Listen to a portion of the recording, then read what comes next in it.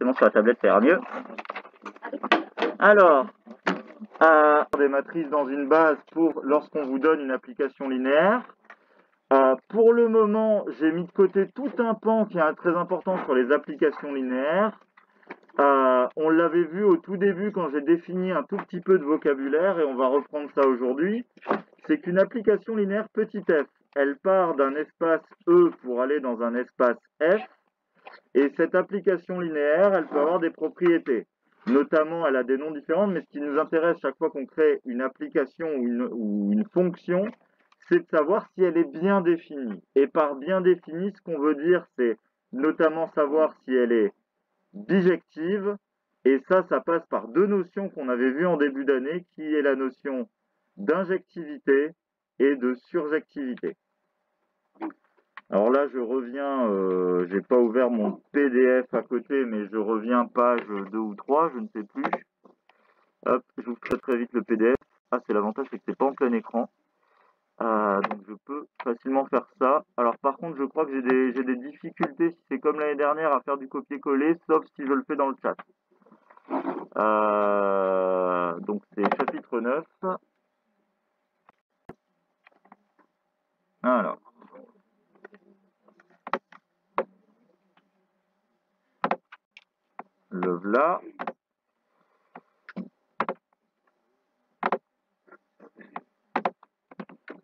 Donc, je suis revenu en fait, euh, entre guillemets, page 2 du poly pour le moment. Ah non, même pas, page 3 directement. Euh, donc, je suis à ce qui va s'appeler noyau et image, hein, dans à la page 3 du poly. Euh, donc, on a besoin de définir ça. Alors, je vais faire des petits rappels très rapides sur ces notions-là qu'on avait vues en début d'année pour des notations et des concepts qu'il faut avoir vus. Je vous rappelle qu'en début d'année, quand on a parlé d'injectivité et de surjectivité, quand vous tracez une fonction de R dans R, euh, ce qui posait problème, c'est que si par exemple je vous fais une fonction qui fait ça, imaginons qu'elle fait ceci, euh, on devait, la notion d'injectivité et surjectivité était liée au domaine d'arrivée par rapport à ce que j'avais appelé à l'époque les lignes de niveau.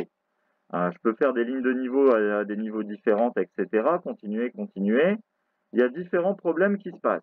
Notamment, euh, le fait que le graphe coupe plusieurs fois la courbe, est-ce que vous vous rappelez du bon vocabulaire? Ça pose un problème pourquoi? Pour l'injectivité ou pour la surjectivité?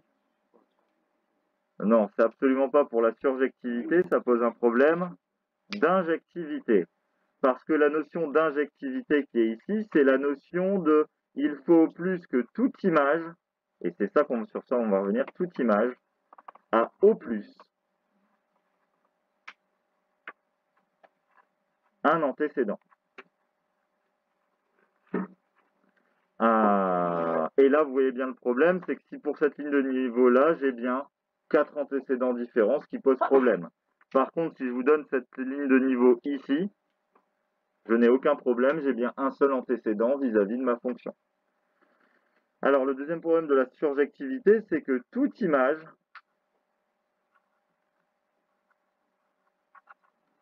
a au moins un antécédent. Et là, est-ce que vous pouvez me dire quelle, ligne de niveau que j'ai mis dans mon graphe pose problème? Pour avoir au moins un antécédent François? Ces trois ici posent un problème pour la surjectivité en effet. Alors, c'est là où en début d'année on s'était dit quelque chose, c'était que si on limite le domaine d'arrivée de la fonction, Notamment, on avait parlé d'une certaine notion qui était le domaine image. Par exemple, si ça, c'est une fonction petit f, je vous avais demandé, on avait défini ce que c'était par exemple que f de r. f de r, c'était l'ensemble de toutes les images. Quand on prend r en entrée euh, de cette fonction-là, bah, si on limite à toutes les images possibles, ce genre de droite là au-dessus n'ont pas raison d'être étudiés. Si on limite ça à ce domaine-là. Ah, mais sinon, si on veut avoir une fonction qui est surjective dans R à l'arrivée, il faut qu'à toutes les lignes de niveau, on trouve un antécédent.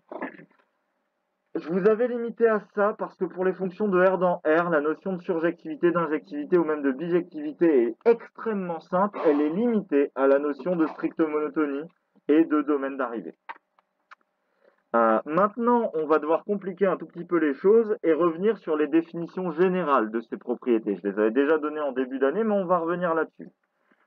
C'est quoi la définition générale de f, euh, qui va de E dans f, est injective? Bah, La définition générale de l'injectivité, ça veut juste dire que euh, quel que soit x1, x2, donc là je vais mettre des flèches pour dire que ce sont des vecteurs, mais dans votre poly il n'y a pas de flèches, deux éléments de E, je veux que ces éléments ont même image, f de x1 égale f de x2, si et seulement si, dans un sens c'est évident, donc ce qui est vraiment nouveau c'est l'implication dans ce sens-là, bah, si des éléments ont même image, puisque normalement ça doit avoir au plus un antécédent, ça doit impliquer quoi Que l'image de f de x1 doit être égale à l'image de f de x2 Alexis? Oui, forcément. C'est ça que ça veut dire, le fait d'avoir au plus un antécédent. Si j'ai deux images qui sont identiques, il faut que les antécédents soient forcément identiques. Donc c'est ça la définition d'une fonction quelconque injective. C'est quoi la définition quelconque d'une fonction surjective? Alors, une fonction est surjective, là, c'est ce qu'on avait dit, c'est il faut au moins un antécédent, quel que soit l'élément de l'image. Donc ça veut dire que quel que soit le vecteur à l'arrivée, je veux qu'il existe un x, un vecteur x au départ, avec la propriété que f de x doit pouvoir être égal à y. La probabilité de surjectivité est en fait très simple à écrire, mais elle est très dure à vérifier. Il faut arriver à montrer que quelle que soit l'image, vous arrivez à trouver un antécédent. C'est en général beaucoup plus dur à faire que de l'injectivité de l'injectivité, ça repose sur... Euh, là, c'est de l'existence, entre guillemets, la surjectivité. L'injectivité, c'est prouver qu'une équation mène à une seule solution, en gros. C'est beaucoup plus simple à faire. Bien sûr, ces deux notions-là permettent d'arriver à la notion d'une fonction bijective. Je ne renote pas tout. On sait qu'une fonction est bijective si et seulement si elle est injective et surjective. Et ça, ça permet de résumer la propriété qui est ci-dessus une fonction est bijective si et seulement si, quel que soit y appartenant à f, qu'est-ce qui va se passer? Oui, on va forcément avoir un antécédent, mais cet antécédent d'un seul coup devient unique. Il existe un unique x tel que f de x est égal à y. Donc clairement, c'est ce genre d'application qu'on va essayer de créer. C'est le genre d'application qui est le plus utile c'est de savoir, d'essayer de créer des applications qui sont bijectives. Euh, là maintenant, je vous ai fait des définitions qui sont tout à fait générales. Je vais encore vous en définir une ou deux. On va voir quand même que nos applications linéaires, elles ont pas mal de bonnes propriétés, notamment vis-à-vis -vis de la linéarité et des combinaisons linéaires, et que ça, ça va nous permettre de nous simplifier un tout petit peu les choses en termes de preuves d'injectivité et de surjectivité. Euh, mais bon, j'ai encore besoin de vous rappeler quelques notions. Euh, j'en profite euh, pour faire un petit rappel là-dessus. Alors, par contre, je me rappelle que sur Teams, c'était un peu compliqué parce que il faut, voilà, je dois, il n'y a pas d'effacement de page totale, je crois, de mémoire. Panoramique et zoom, non, ça me permet de zoomer sur une zone, je ne veux pas faire ça. Ajouter du texte, c'est pas ce que je veux, et ajouter une note, c'est pas ce que je veux. non, mais là, alors la gomme, ah, si je clique dessus, non, il n'y a pas de paramètres. Donc c'était bien le problème que j'avais l'année dernière quand je faisais par Teams, c'est que je suis obligé de faire... C'est bien, bien fait hein, les outils Microsoft, c'est absolument génial. Ah. Allez.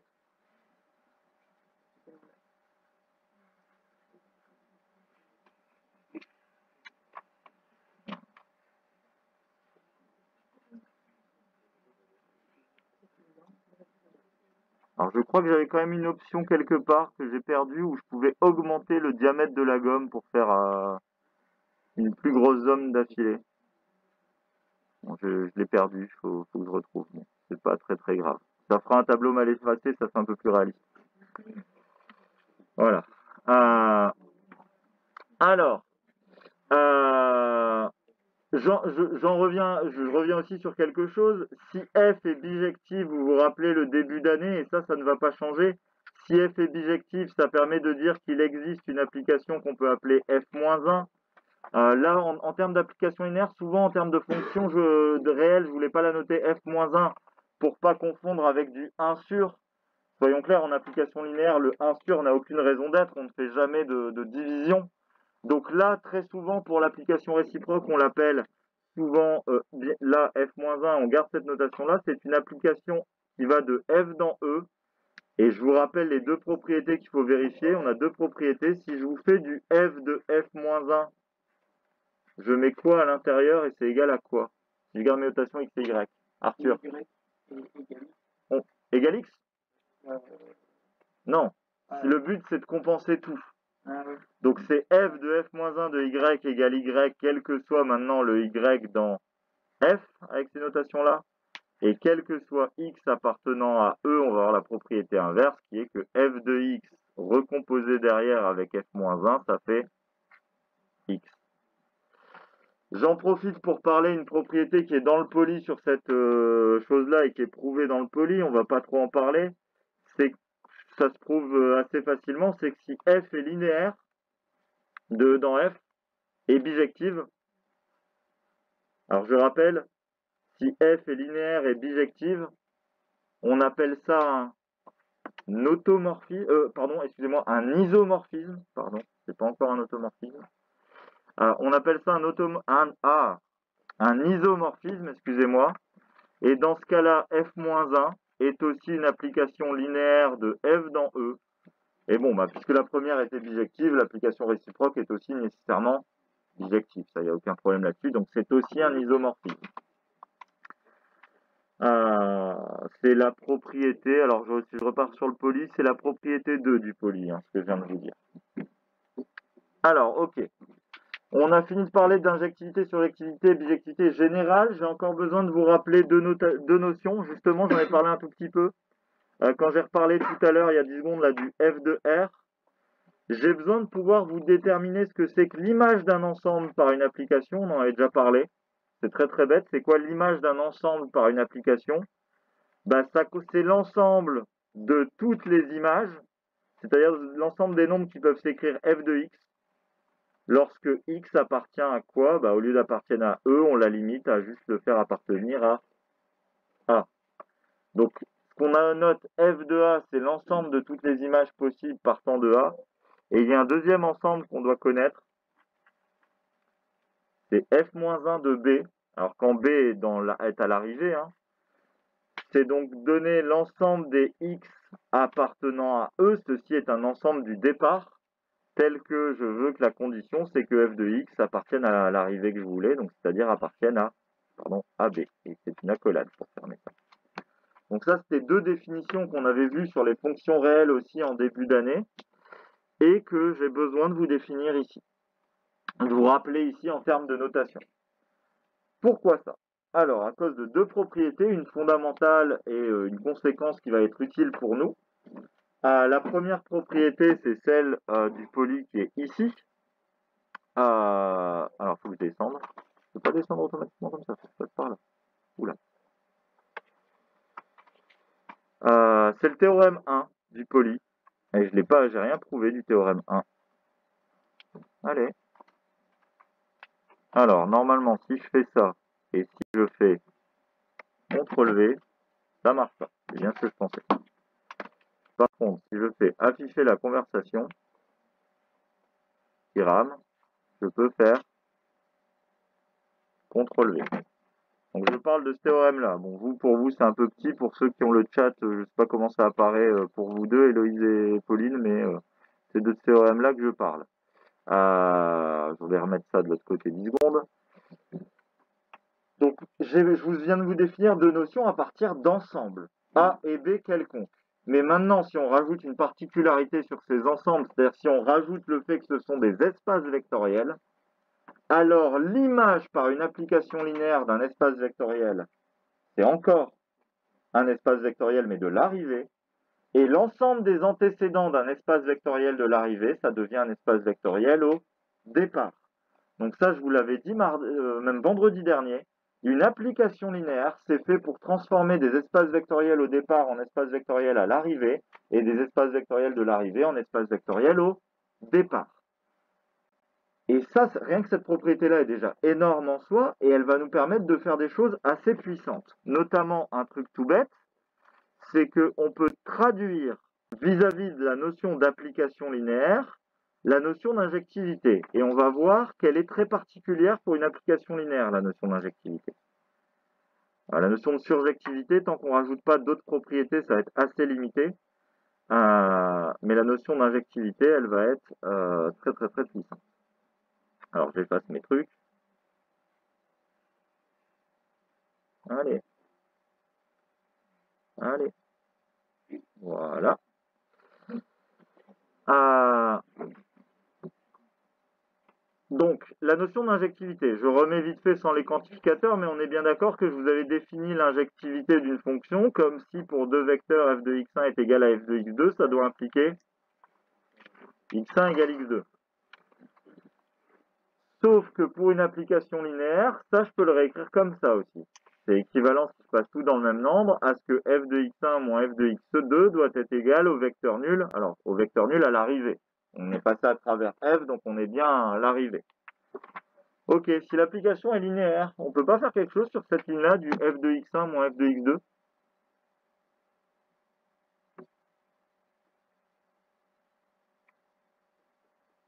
en utilisant le fait que f, si f est linéaire, là j'ai le droit à ça. Ok, bon. Je viens de zoomer. Je veux dézoomer. CTRL Z, est-ce que ça marche? Bien sûr, ça ne marche pas. Comment je fais pour dézoomer? Alors, peut-être avec ça, ça ira mieux.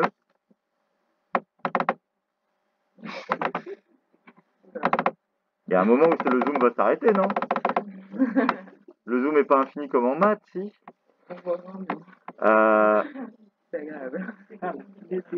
Alors, je fais arrêter la présentation 10 secondes pour essayer de récupérer la main. En espérant que ça...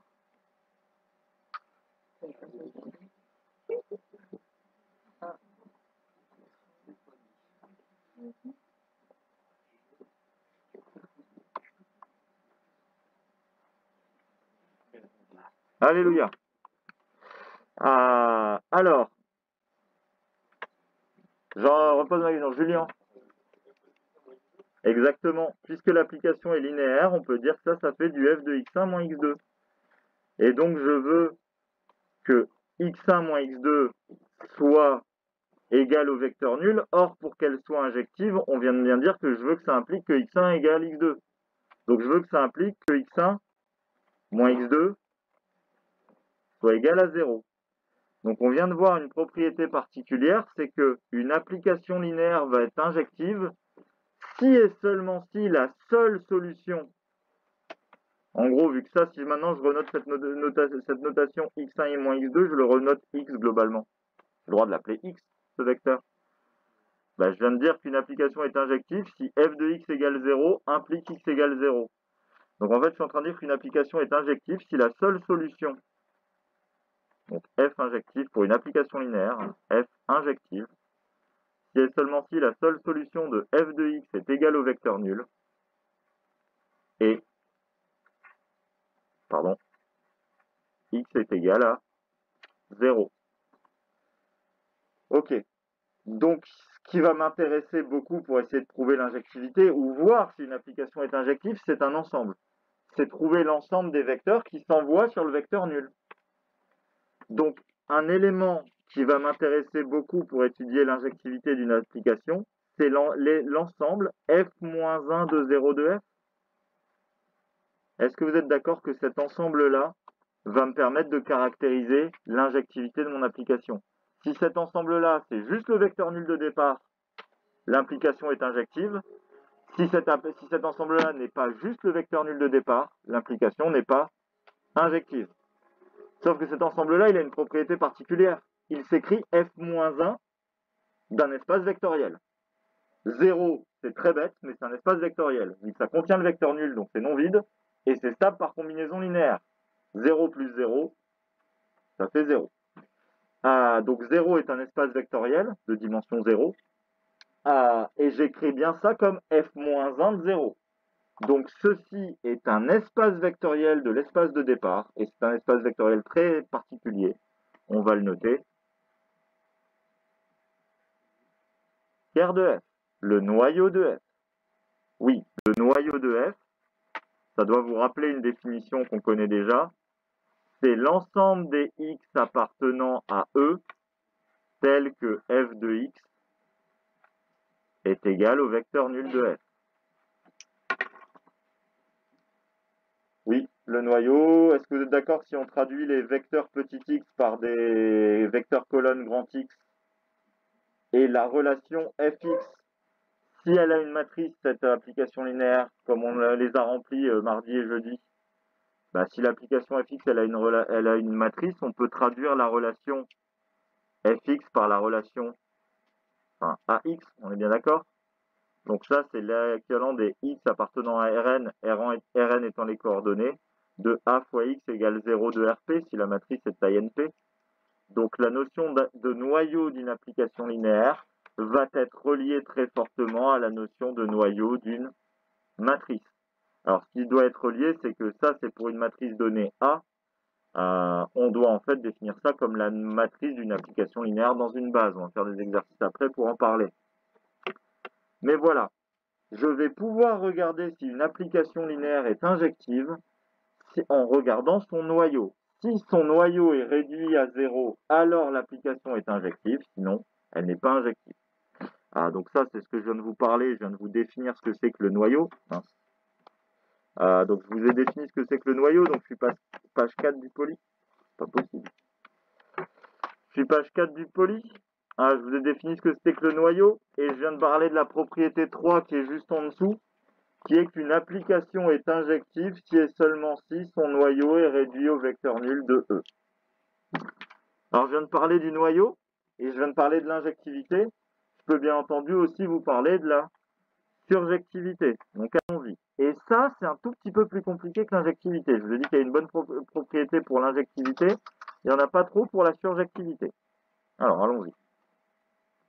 Hop. J'efface.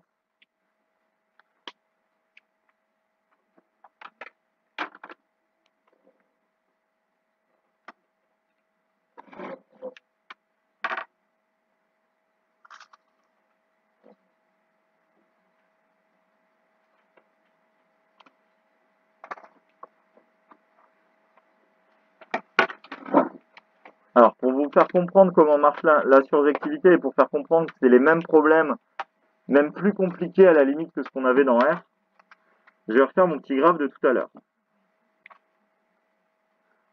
Euh, ouais, sauf que je, m'en fiche qu'elle soit injective, donc, euh, enfin, qu'elle soit pas injective. Donc, je vais pas faire un graphe comme ça. CTRL Z, non, je n'ai pas le droit d'annuler, c'est trop compliqué. Faisons un graphe comme ça dans ce cas. Là, j'ai une fonction qui a aucun problème d'injectivité, mais euh, donc j'ai une application petit f qui part de R dans R. Et justement, mon problème de surjectivité, à chaque fois, en fait, il est lié plutôt au domaine d'arrivée. Si je mets R comme domaine d'arrivée, donc qui va jouer le rôle de mon grand F à moi, on voit bien que sur cette application, j'ai un problème parce que cette ligne de niveau, je ne l'atteins pas. Or, je vous avais dit euh, au début d'année qu'on pouvait considérer l'image F de R f de r ici, ça me donnerait l'ensemble qui va de qui va de tout en bas jusque ici, de l'ensemble des valeurs atteintes. Ça n'atteindrait pas la limite, mais juste en dessous de la limite, toute ligne de niveau serait là. Alors je sais pas, si ça par exemple c'est 1 comme valeur, f de r pour cette application-là, ce serait un truc du type moins l'infini jusque 1 exclu, pour dire que la limite n'est jamais atteinte, mais que toutes les valeurs en dessous, on peut les atteindre. Bah, dans ce cas-là, clairement l'application, dans f, hein, une application de r dans r, on pouvait toujours dire qu'elle était surjective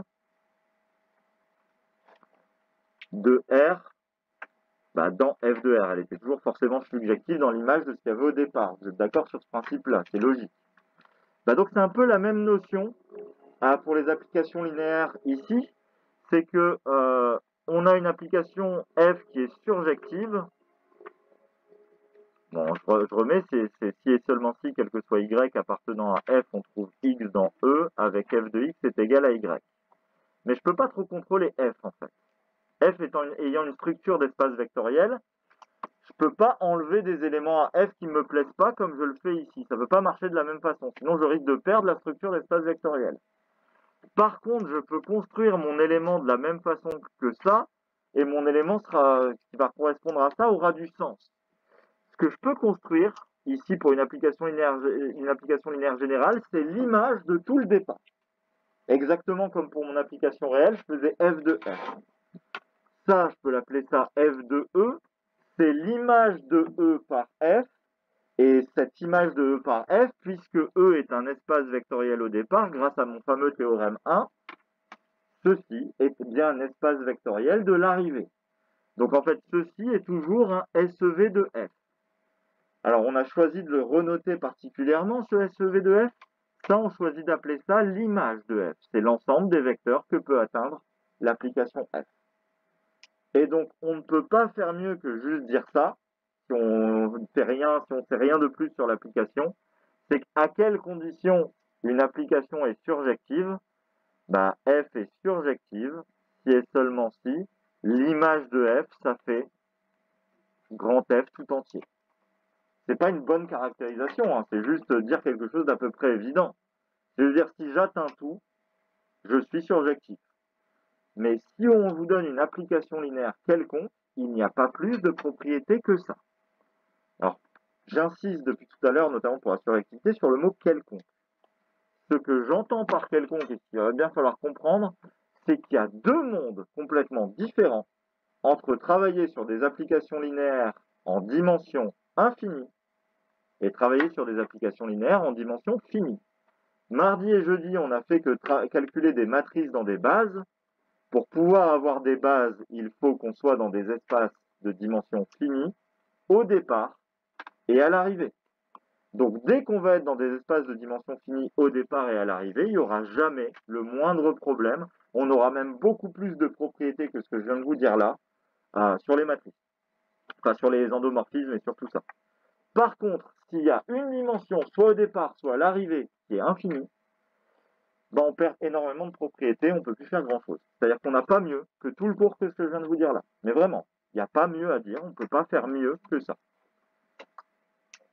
Faisons un seul et unique exemple d'étude de, noyaux et d'images pour voir si c'est injectif et surjectif ah, pour une application qui est en dimension infinie. On ne va pas en faire 36. C'est une notion compliquée. Ah, je préfère qu'on passe du temps à faire ça sur des matrices, encore une fois, et sur les choses en dimension finie. On a beaucoup plus de choses qu'on maîtrise là-dessus. Ah, mais faisons quand même un exemple. Ah, ah vous, François, oui. Je comprends pas pourquoi on parle de la subjectivité en moins C'était juste pour mon graphe pour faire une comparaison d'idées. Est-ce que tu es d'accord que ce qui pose problème pour la surjectivité de mon graphe de la fonction réelle, ce sont les lignes vertes qui n'atteignent pas? Cette ligne verte-là ne me pose aucun problème. Bah, donc ce sont les lignes vertes du haut. Donc si je prenais f qui allait de R dans R, elle n'était clairement pas surjective. Par contre, si je vois que, imaginons que ma fonction tende en plus l'infini, c'est mal fait mon graphe, mais elle ne doit pas toucher, mais imaginons que ma fonction tende vers 1, sans jamais l'atteindre.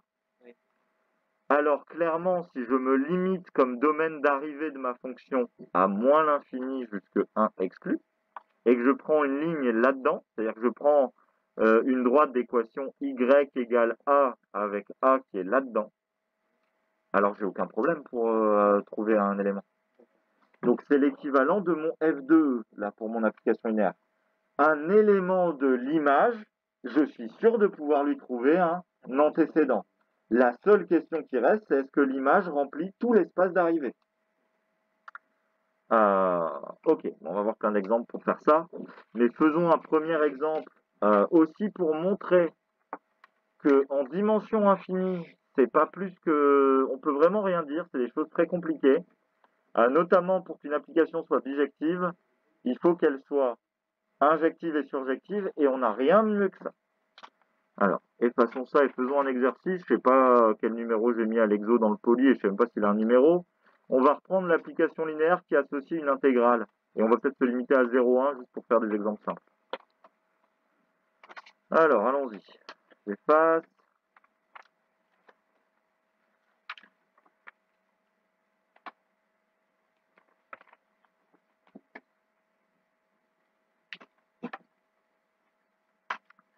Euh, allons-y. Donc, je reprends l'exercice suivant. Euh, on va considérer phi, l'application qui partait de C0 Alors, je l'avais fait sur AB la première fois. Euh, là, je vais, pas, limiter à 0,1. Et qui arrive dans R et qui a une fonction petit f, donc qui est continue sur, sur 0,1, euh, associe l'intégrale de 0,1 de f de t dt. Ça, on l'avait fait vendredi dernier. On avait prouvé que cette application est bien une application linéaire. Donc, phi est bien dans L de C0 de C01R, virgule, elle arrive dans R. Et d'ailleurs, notamment, on avait dit, c'est du vocabulaire qu'on avait vu, ceci est une forme linéaire, vu que ça arrive dans R. Vu que l'ensemble d'arrivées c'est R, c'est une forme linéaire. Question bête, j'ai quasiment fini tous vos DM, je vous les rendrai lundi. Euh, mais question bête, c'est un espace de dimension combien R? Un espace de dimension infinie R. Alors là, vous allez vous rendre compte de votre bêtise en général. C'est un espace de dimension combien R2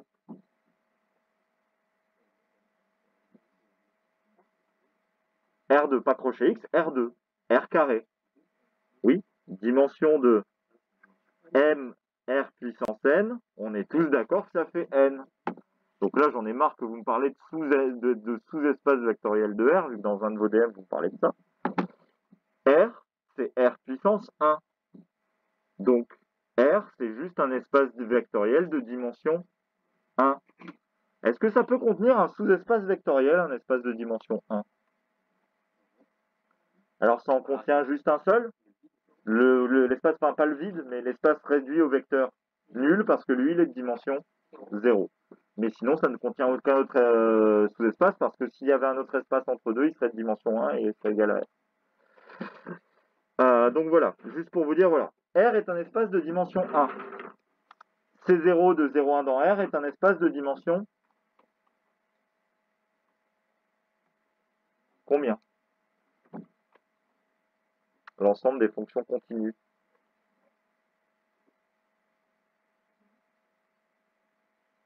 Oh, on va revoir vos cours d'espace vectoriel. Hein. Je vais pas pouvoir me permettre de refaire de, de, de, réinventer l'eau tiède à chaque cours. J'en ai déjà parlé plein de fois vendredi dernier, etc. En dimension finie, nos espaces de référence, on a Rn, on a Rn crochet X, on a MNP de R, moralement. Tous les autres espaces de référence qu'on travaille sont de dimension infinie. Ce que j'avais noté, R puissance grand N, l'ensemble des suites. R crochet X, l'ensemble de tous les polynômes. Et si déjà l'ensemble des fonctions polynômes, c'est de dimension infinie, je vous dis juste que l'ensemble des fonctions continues, c'est plus grand que l'ensemble des polynômes, vu qu'il y a des fonctions non polynômes qui sont continues. Donc tout ce qui est CK de I dans J, pour n'importe quelle valeur de K, de I et de J, ceci est bien un espace de dimension infinie. J'ai une question pour vous, c'est pour ça que je voulais établir. Donc C0 de 0,1 dans R est un espace de dimension infinie. J'envoie un espace de dimension infinie dans un espace de dimension 1. D'après vous, quel problème va-t-on avoir pour cette application? Un problème d'injectivité ou un problème de surjectivité? Est-ce que je vais avoir un problème pour avoir au plus un, antécédent ou au moins un antécédent? Arthur. Voilà, exactement. Parce que pour que j'ai au plus un antécédent, il ne faudrait pas que j'ai deux éléments qui s'envoient sur la même notion ou sur la même chose. Et par contre, pour avoir euh, au moins un antécédent, bah, si j'ai une infinité d'objets, enfin, j'envoie sur un seul, en gros, enfin, si je raisonne sur la dimension comme ça, ça paraît pas trop compliqué d'arriver à obtenir tout ce qu'on veut. Alors, on va voir qu'il faut quand même faire une preuve et que c'est pas si simple que ça. Euh, mais c'est une logique qui va être à peu près vraie, vu qu'on va voir dès qu'on va passer en dimension finie. Euh, clairement, si on a un espace plus grand qui arrive dans un espace plus petit, ben, on va avoir des problèmes d'injectivité, comme on a dit.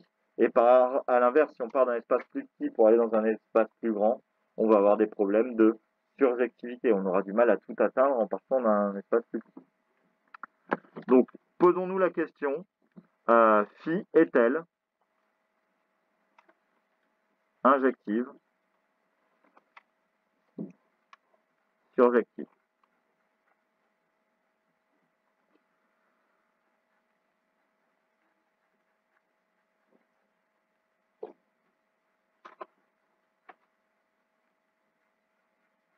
Alors là, c'est le cours qu'on vient de faire.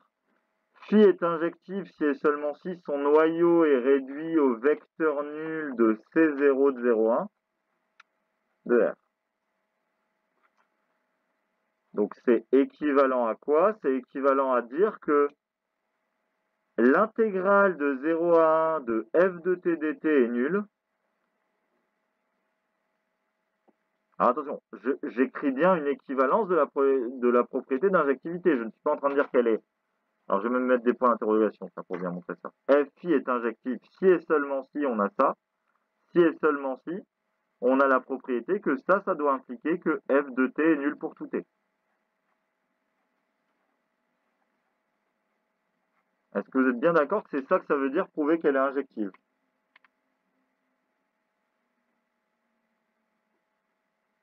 Est-ce que c'est vrai, cette propriété?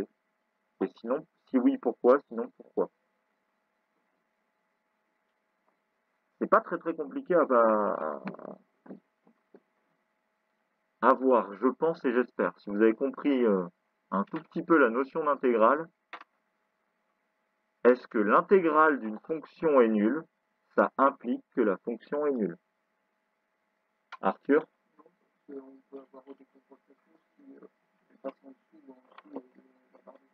Exactement. Alors je vais effacer euh, peut-être pas tout. Je vais effacer peut-être euh, mon truc, mon topo là sur les dimensions. Je vais faire un dessin.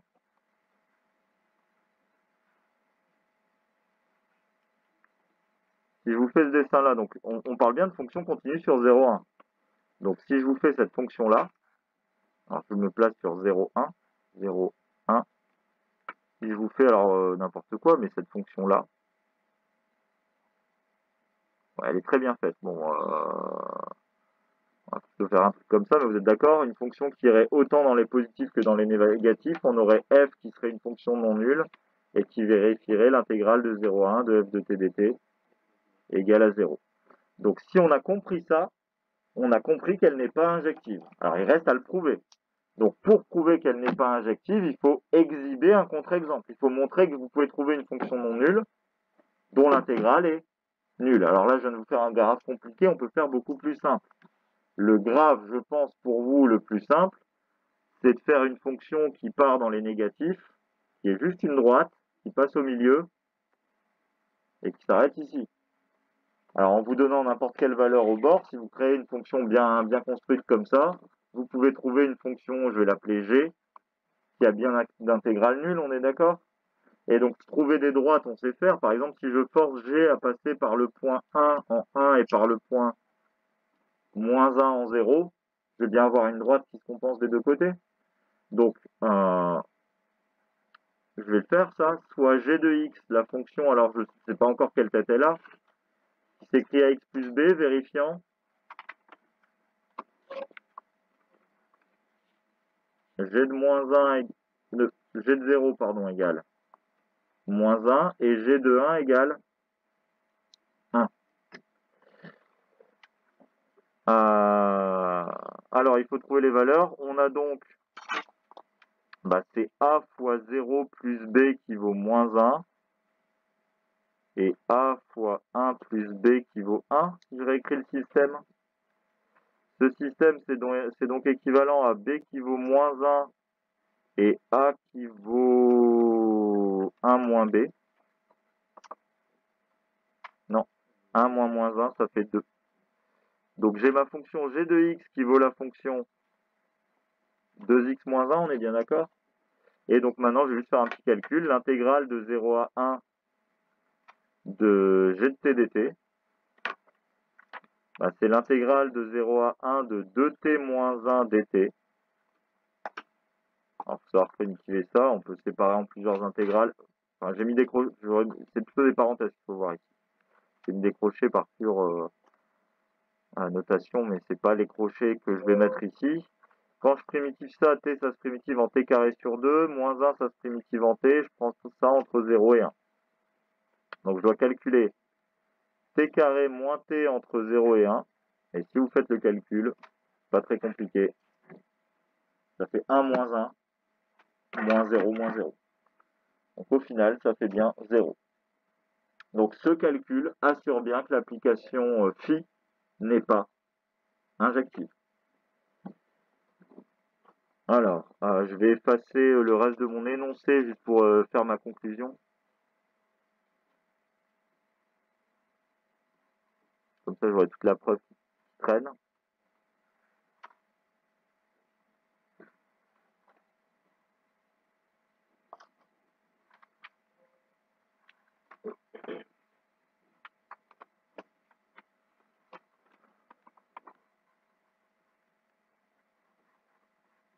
On a donc la fonction g qui appartient au noyau de phi avec g différent de l'application nulle.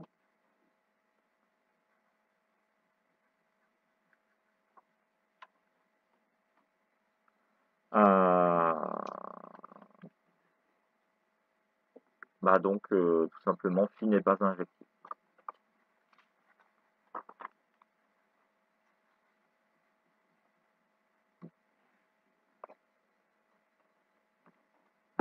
Ok. Il y avait deux questions. La deuxième question, c'est est-ce que phi est surjective sur R? Alors, je ne peux pas changer mon espace vectoriel, hein, je ne peux pas limiter à 0,1 ou à n'importe quoi. Euh, pour que ce soit un espace vectoriel, il faut que ce soit R, il faut que ce soit stable par combinaison linéaire, donc il faut que ce soit multiplié par n'importe quoi. Donc, je ne peux pas changer mon espace de mon ensemble d'arrivée, il m'a été imposé, c'est R. Et je dois vérifier si c'est surjectif sur R. Alors, je vais effacer ce que j'avais mis en dessous. Je vais effacer mon calcul bleu ou pas? Oui? Ah, je n'ai pas entendu les noms.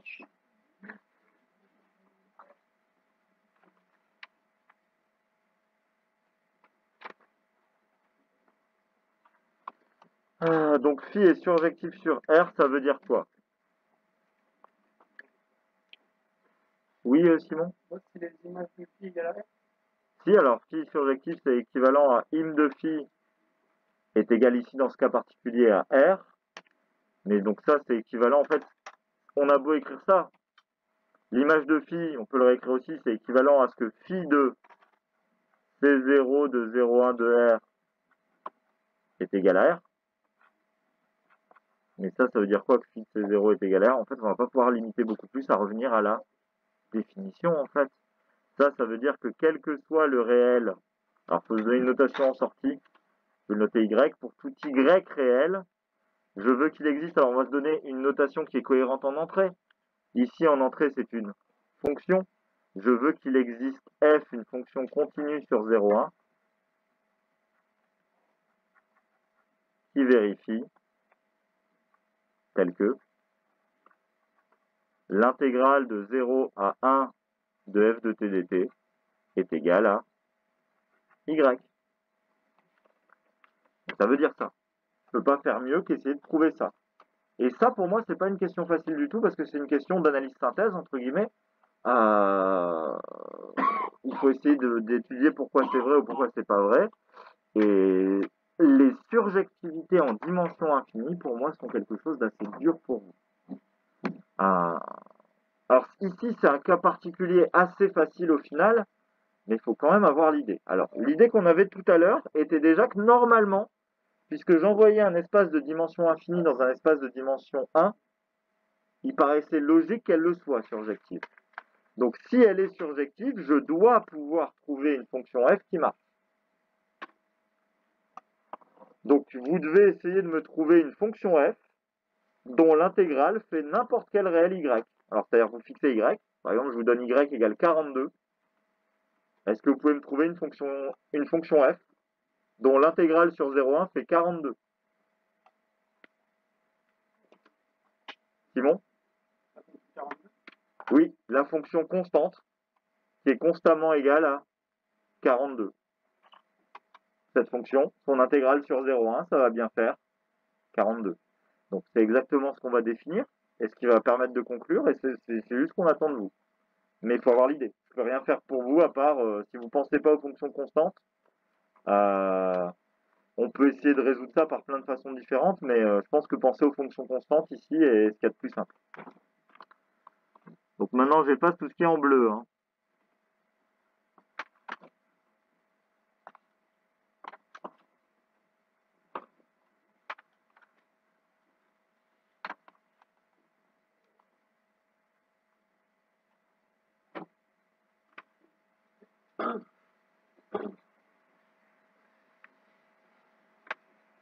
Alors, allez. Euh, quel que soit le réel y appartenant à R. Alors, je vais poser ça comme une fonction particulière, soit h de x égale y, quel que soit x appartenant à 0,1. Je définis une fonction h comme ça. On a clairement la fonction h qui est un h mal écrit, mais c'est un h. Euh, on a clairement la fonction h qui est continue sur 0,1. Bonjour. Installe-toi, oui, maintenant on va. Oui. Euh, pas de souci. Donc on a bien la fonction h qui est continue sur 0,1 euh, et qui vérifie.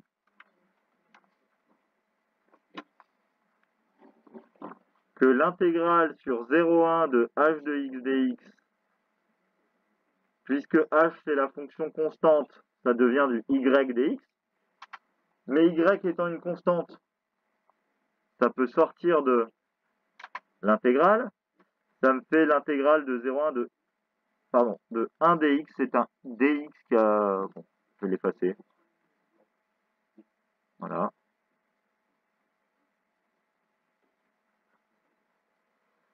Euh, et ça fait donc y fois x à prendre entre 1 et 0, ça fait bien y.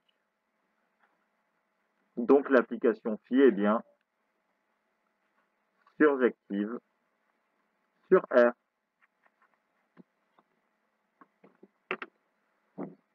Est-ce que ça va pour cet exemple? Un exemple pour moi pas facile. Quand on va se limiter aux dimensions finies, on va avoir beaucoup, beaucoup plus de propriétés.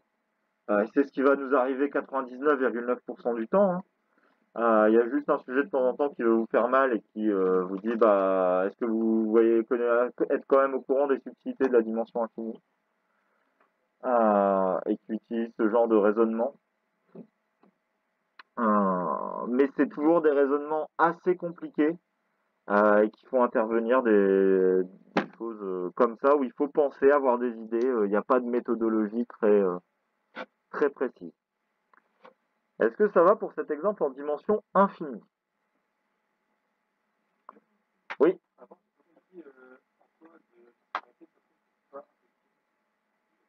Alors, cours d'aujourd'hui. L'injectivité d'une application linéaire, c'est lié à son noyau. Pour qu'elle soit injective, il faut que le noyau soit réduit à la fonction nulle. On a trouvé une fonction qui est non nulle et qui a quand même l'intégrale nulle, donc qui envoie bien sur 0. Ça contredit le fait que le noyau est nul, ça contredit l'injectivité. Au final, je résume quand même, on a quand même une application qui est surjective, non injective, elle n'est donc pas bijective. Ce n'est pas un isomorphisme. On ne peut pas mettre en bijection, c'est logique, un espace de dimension infinie avec un espace de dimension 1. Ok. Voilà pour ça. Continuons le cours, on va le finir sur cette notion-là. Qu'est-ce qui se passe quand on est euh, sur ce thème-là, quand on est en dimension finie? Ah, Il va se passer plein de choses. Euh, on va en parler. Ah, bah, je vais déjà effacer ça, ça va me faire gagner du temps. Je peux tout effacer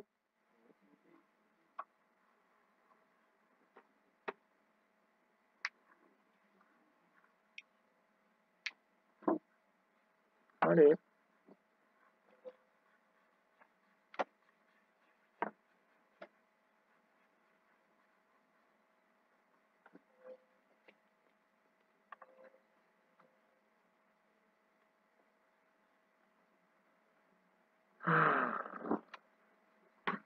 Alors.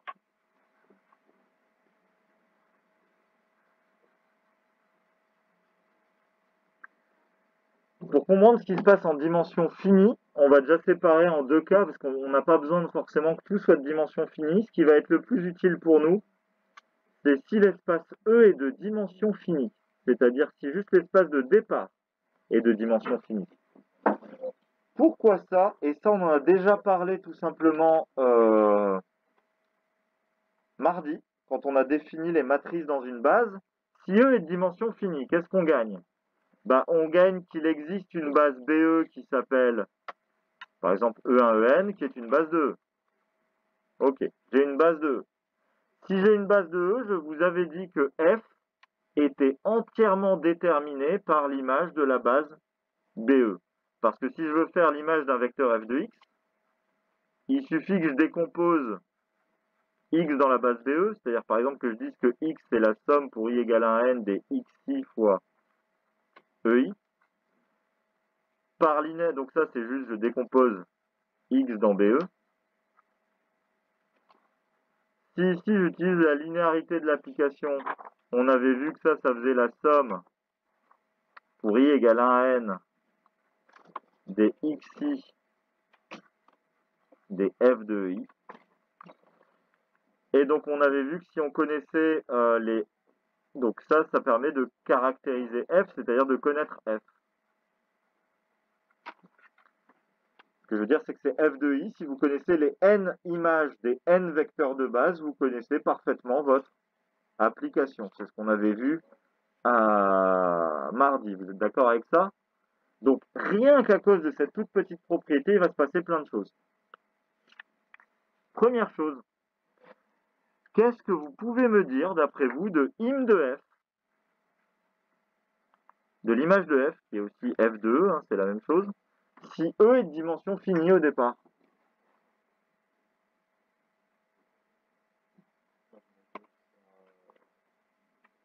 Oui.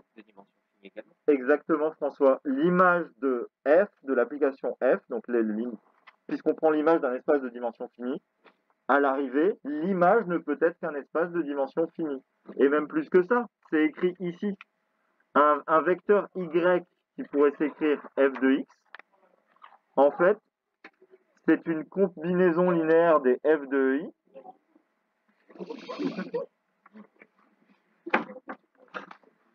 c'est une combinaison linéaire des vecteurs de f de i. Donc en fait, un vecteur y, il est dans vec de f de 1 jusque f de n. Donc en fait, im de f, c'est f de e, et c'est tout simplement tout vect de f de 1 jusqu'à f de n. Donc première chose, c'est forcément vec de ça. Alors je ne sais pas, peut-être qu'il y a des vecteurs nuls dans cette famille. Donc attention, ça ne vous donne absolument pas une base de l'image, ça vous donne une famille. Je vous rappelle, quand ça s'écrit dans le vect, ça vous donne une famille génératrice de l'image.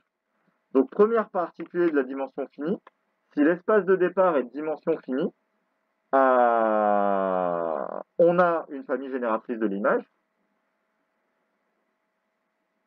Voilà et ça nous donne quelque chose. L'espace de, image est de dimension finie. Donc imaginons que je vous donne une application linéaire qui part d'un espace de dimension finie pour aller dans un espace de dimension infinie.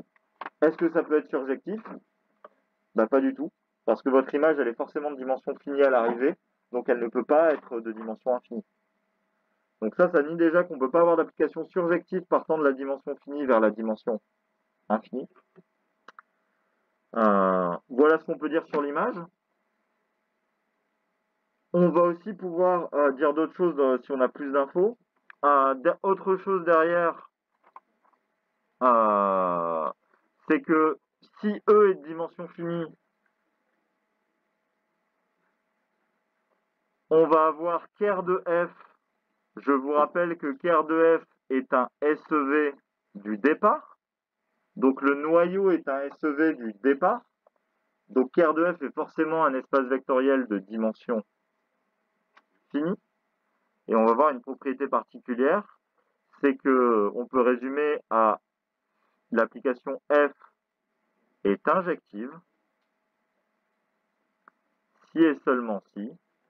Bah, on sait déjà ça, ça c'est vrai dans la dimension infinie, c'était si ker de f est réduit au vecteur nul. Mais puisque on est en dimension finie, ça, se résume aussi à dire que juste la dimension du noyau bah, est nulle. A une dimension en fait. On peut parler de dimension si on est dans un espace de dimension finie. Donc on va pouvoir se ramener à travailler sur des arguments de dimension.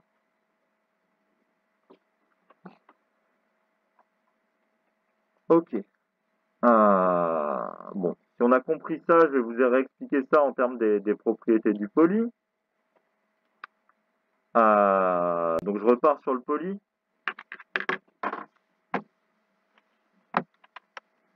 La première chose que je vous ai dite, euh, on est même avant les propriétés de la dimension finie, c'est la propriété 4.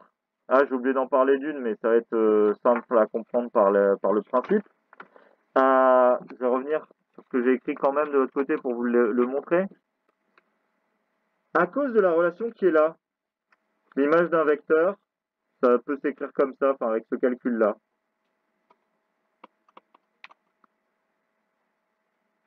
D'après vous maintenant, euh, à cause des relations, si, j'essaye de faire l'image d'une, si je vois plus ça comme une base, mais si je vois juste ça comme une famille libre, si je fais l'image d'une famille, alors si je fais l'image d'une famille génératrice, c'est ce que j'ai écrit ici pour que dire que ça fait ça. L'image d'une famille génératrice au départ est une famille génératrice de l'image à l'arrivée. C'est ce qu'on vient d'écrire plus ou moins. Et à l'inverse, c'est plutôt dans l'autre sens qu'il faut prendre les calculs. Si ici à l'arrivée, je vous donne une famille libre, à cause des calculs qui sont là, ça mène à ce genre de calcul au départ. Donc l'image de la famille, si l'image de la famille est libre, ça donne l'image du vecteur somme des combinaisons linéaires.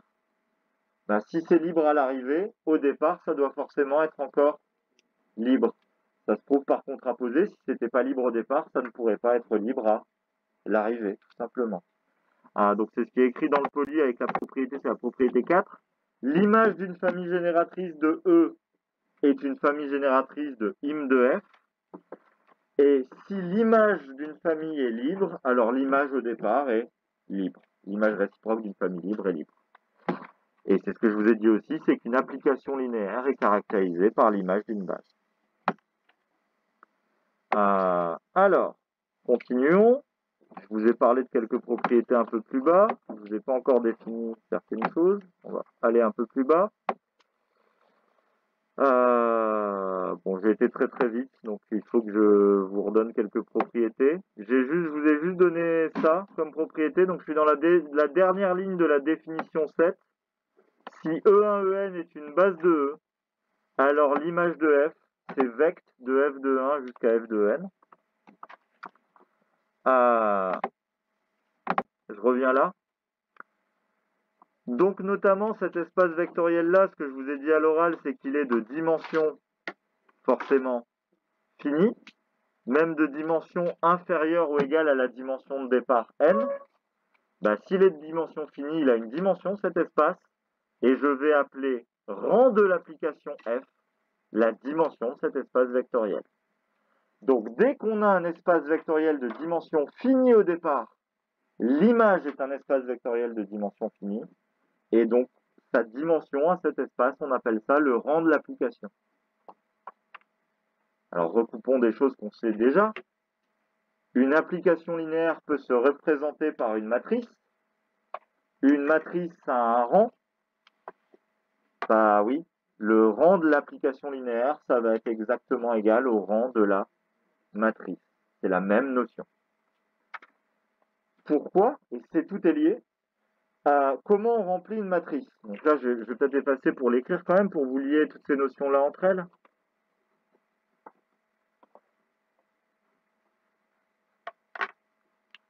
C'est des choses qu'on a vues mardi et jeudi.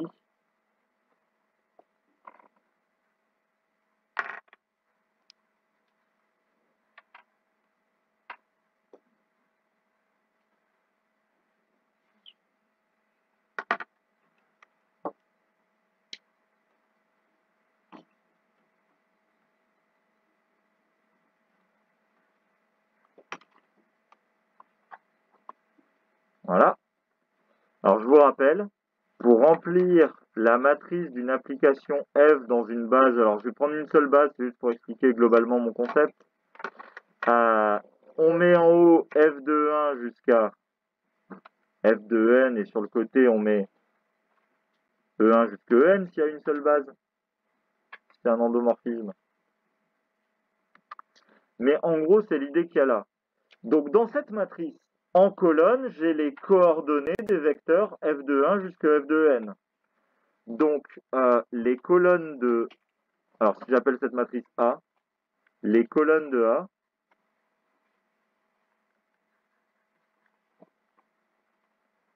sont euh, les euh, les cônes de A sont les coordonnées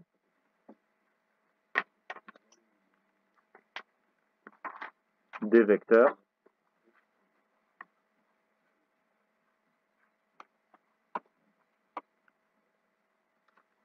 Euh, or, ça c'est un rappel, le rang de la matrice A, c'est égal à quoi? Alors le rang de la matrice A, on l'a défini de deux façons. On l'avait défini comme étant le nombre de pivots, c'est la définition de base. Mais on a prouvé dans le chapitre d'espace vectoriel que le rang d'une matrice, c'est le rang de la famille de vecteurs colonnes. C'est pour ça qu'on peut dire que le rang d'une matrice est inférieur ou égal à 2 quand il y a deux colonnes qui sont identiques. Et le rang d'une famille de vecteurs colonnes, on avait donné ça comme la dimension de l'espace vectoriel engendré par les vecteurs colonnes.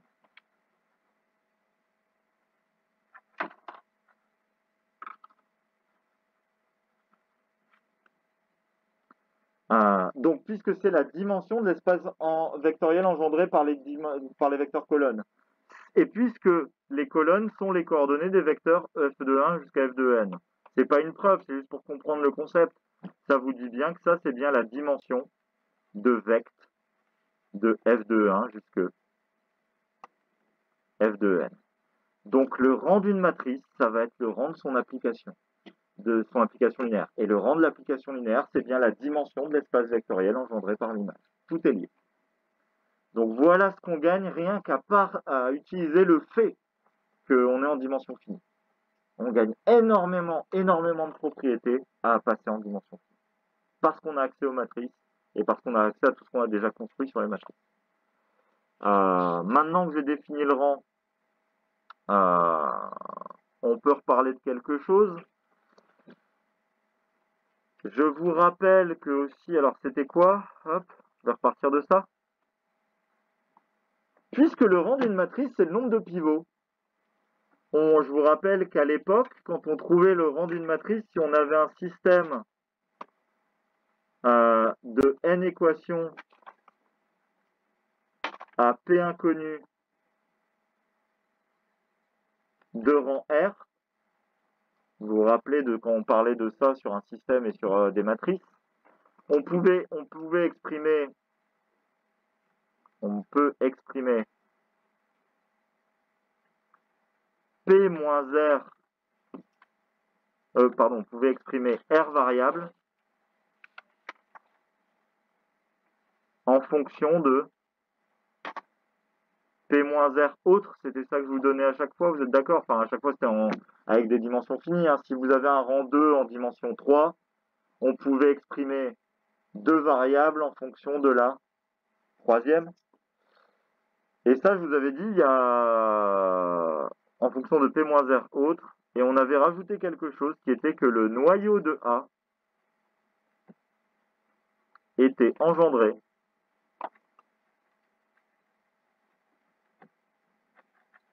par P-R vecteur. Et je vous avais appelé cette relation-là sur le noyau, le fait qu'on connaissait à l'avance le nombre de vecteurs qu'il devait y avoir dans le noyau, je vous avais appelé ça le théorème du rang. Et je vous avais dit, bah ça on le verra plus tard dans l'année, ça sera lié à un autre concept et un peu plus général et ça marchera.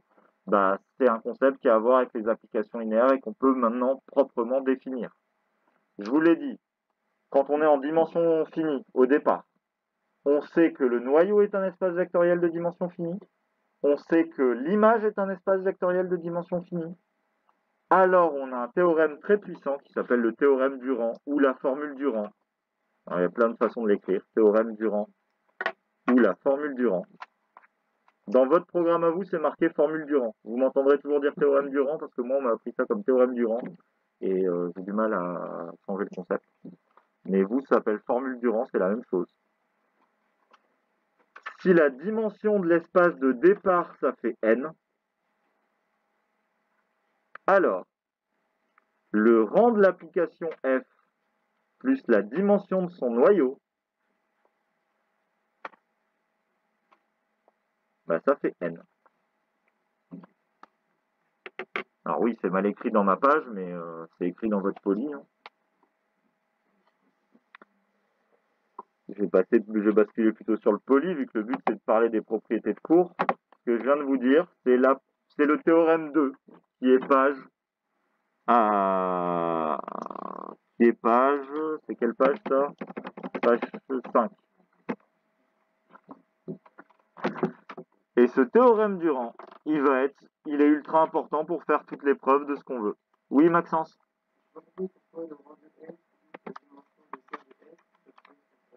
Alors, attention, c'est parce que j'ai utilisé des mauvaises notations et c'est de ma faute. Là, je vous ai reparlé de ces notations-là de début. Vous êtes d'accord? Ça, c'était les notions de début d'année. Je vous ai repris les mêmes notations. C'était quand on parlait d'une matrice de taille MNP, on est d'accord? Et je vous avais expliqué ça en début d'année. C'était pour vous rappeler votre cours de début d'année. Sauf que quand maintenant j'ai une application linéaire f qui part d'un espace E de dimension n et qui arrive dans f un espace de dimension p, on crée une matrice de quelle taille maintenant? Ben, On met les n vecteurs en colonne et on distingue suivant les p vecteurs à l'arrivée. Comme ça, vous êtes d'accord? Donc la matrice qu'on crée, c'est une matrice de taille MPN. Donc, qu'est-ce qui joue le rôle dans mon texte en, noir, mais que je pointe en vert? Ce qui joue le rôle du nombre d'inconnus, dans ma nouvelle notation ici, c'est n, vous êtes d'accord? Qui joue le rôle du nombre d'inconnus. Là, ça, ça joue le rôle du p qu'il y avait ici. Ce n-là joue le rôle du p qu'il y avait ici. Donc, ce que je disais, c'est que si j'avais un rang R, donc une dimension R pour l'image, j'avais P-R avant. Donc maintenant, ça joue le rôle si d'un côté j'en ai R, de l'autre j'en ai N-R. Donc bref, N, c'est bien la somme de R et de E, pardon, R il est là, et de N-R, qui est la dimension du noyau. Ah, donc je reprends, c'est ce qui est écrit dans votre théorème du rang. Hein. Ah, donc le théorème 2. Si E est un espace vectoriel de dimension finie, et F, on n'en a rien à faire, il peut même être de dimension infinie, ça ne pose aucune difficulté, alors on a le théorème du rang. Alors, je remonte sur les définitions que j'ai passées, du coup la définition 7 en entier, le rang d'une application linéaire, c'est bien la dimension de son image qui est un espace vectoriel de dimension finie. J'en profite pour parler de la remarque 1. Pauline et Héloïse, je ne peux pas vous l'afficher, du coup, la remarque 1 qui est en bas de page 4. Euh, il y a une faute de frappe dans la remarque 1, je ne peux pas écrire là sur mon poly. Alors la faute de frappe, c'est qu'il y a l'inégalité qui n'est pas passée. Si f est de dimension finie, L'image de f, bah, je vais l'écrire en fait tout en tête, mais il manque un truc dans la propriété 1, de, enfin, dans la remarque 1.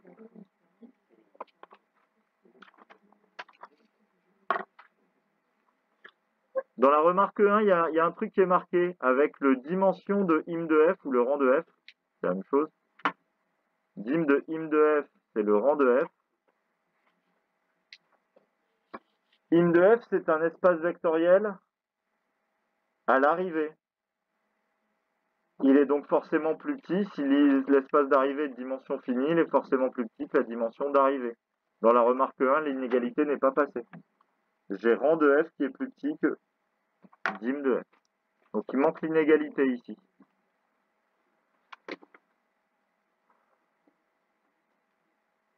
Donc il manque l'inégalité. Alors j'en profite pour parler de la propriété 5 qui est à peu près évidente. Vu que je vous ai dit, euh, je vous ai déjà défini mardi et jeudi que toute application linéaire en dimension finie au départ et à l'arrivée peut se représenter par une matrice.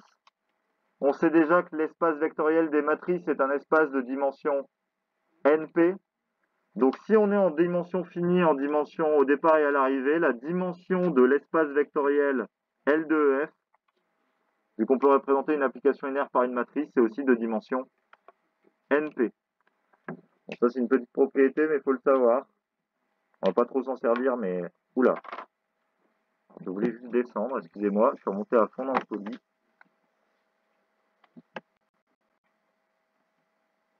Alors, maintenant qu'on a le théorème du rang, on va pouvoir faire plein, plein, plein de trucs ultra puissants pour prouver de l'injectivité et de la surjectivité. Euh, c'est la propriété, c'est la propriété 6 euh, qui est dans le poly. Alors, je vais tout effacer, on va l'expliquer cette propriété 6. Et après, on pourra se mettre à faire enfin des exos. Voilà. Bon, ça rame un peu, je suis désolé. Allez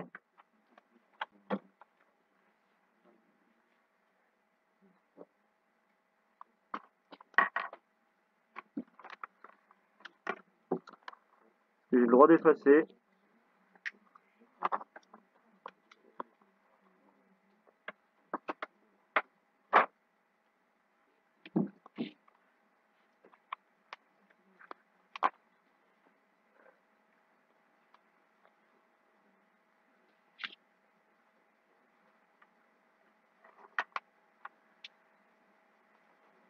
Allons-y. Est-ce qu'on est bien d'accord? J'ai déjà dit, je rappelle, phi injectif, c'était équivalent à le noyau est nul, mais maintenant qu'on est en dimension finie, j'ai dit que ça, c'était équivalent à ce que la dimension de Kerr de f était égale à 0. Ça, c'était vrai pour l'injectivité. Ok. Donc maintenant, mettons des dimensions aux choses. E est de dimension n. F est de dimension P. Je sais aussi autre chose en dimension finie, c'est que, je l'ai dit, je viens de le dire aussi tout à l'heure, l'image d'une application phi, et là notamment euh, la dimension de l'image de phi, c'est forcément de dimension finie, et c'est plus petit que la dimension de f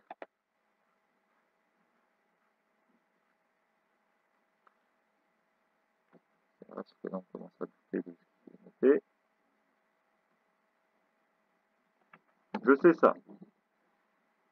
D'après vous, euh, et je rappelle aussi que phi surjective, c'est équivalent à ce que im de phi soit égal à im de f. Oh là là, je suis en dimension finie. J'ai un sous-espace vectoriel qui s'appelle im de phi. Je sais que sa dimension est plus petite que f. Et pour que ce soit surjectif, il faut qu'il soit égal à f. Quelle propriété il suffit d'avoir sur la dimension de l'image pour être surjectif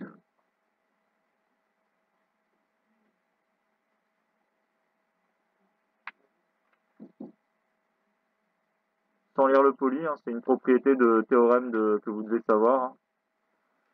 C'est un truc d'espace vectoriel tout bête qu'on a utilisé plein de fois. J'ai f inclus dans E.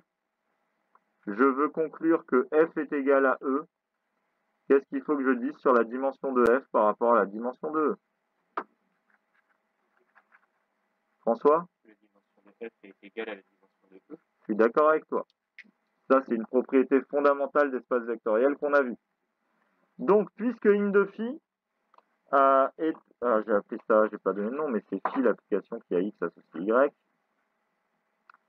Euh, puisque im de phi est inclus dans f, et que je veux que ce soit surjectif pour que les espaces soient égaux. Bah, maintenant, j'ai une caractérisation en dimension finie.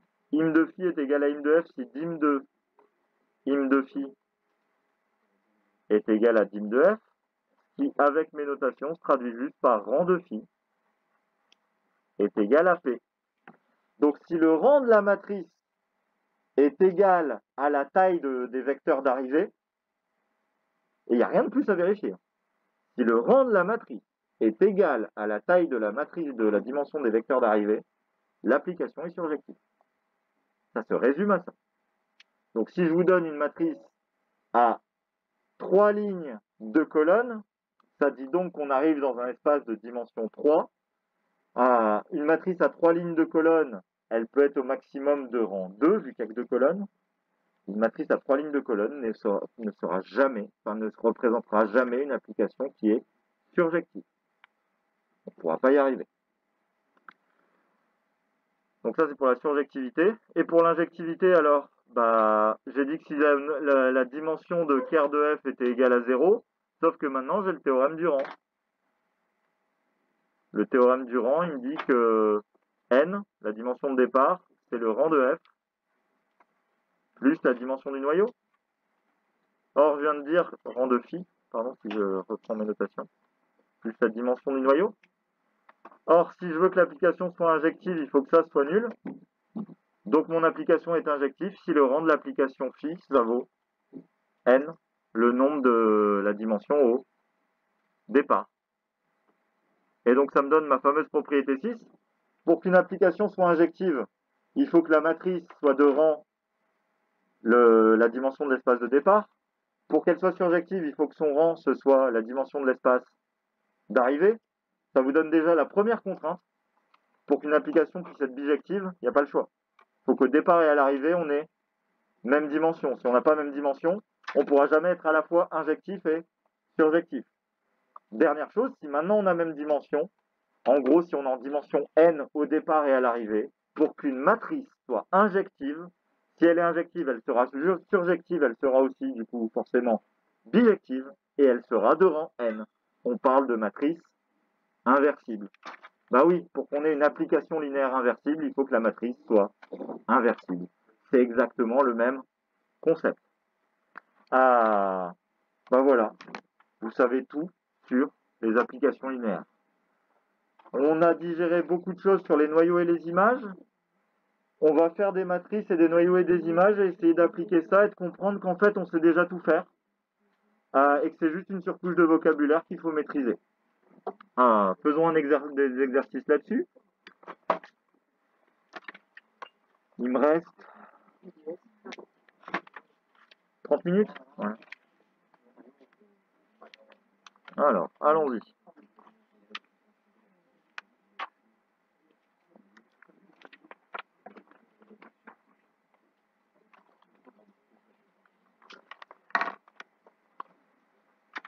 On va essayer de faire un exo bien.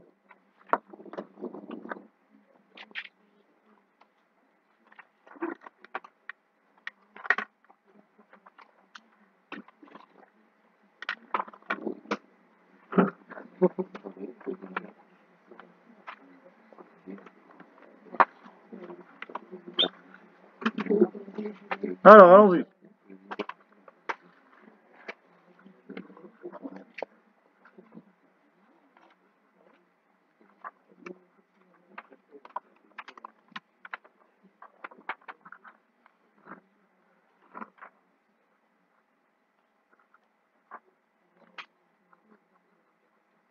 Alors, je sais plus c'est quel exo. En plein de morceaux à plein d'endroits du poly. Euh, il y aura un bout de- d'exo 5, un bout d'exo 7. euh, Enfin, je sais plus combien c'est. Alors, c'est ça commence à l'exercice 6. On a déjà prouvé que c'était un endomorphisme. On a déjà fait l'exercice 6. On va parler de l'exercice 14. On va parler de... C'est toujours la même application linéaire pour différents concepts. Donc, il me faut juste la matrice A, c'est 1, 0, moins 1, 1. Donc ça, c'est 1, 0, moins 1, 1. Donc on a déjà fait 6, on a déjà montré que f est une application linéaire sur M2 de R. Et là, je vais vouloir faire plusieurs choses en même temps, enfin d'affilée pour voir comment on peut faire les choses. 1. Je vais vouloir déterminer la matrice dans la base canonique de M2 de R de l'application F. Ensuite, je vais vouloir définir le noyau de l'application F. déterminer c'est quoi son noyau, une base du noyau. Et 3, je vais vouloir déterminer une base de son image. Ça va me permettre de faire le lien entre noyau de matrice, noyau d'application linéaire, matrice euh, d'application linéaire. Enfin, on a notre premier exo qu'on peut mener de bout en bout et essayer de comprendre de plein de façons différentes selon ce qu'on a envie de faire. Alors, première étape. Et là, je suis obligé de vous rappeler quelque chose qu'on n'a pas rappelé en début de semaine. C'est quoi la base canonique de M22R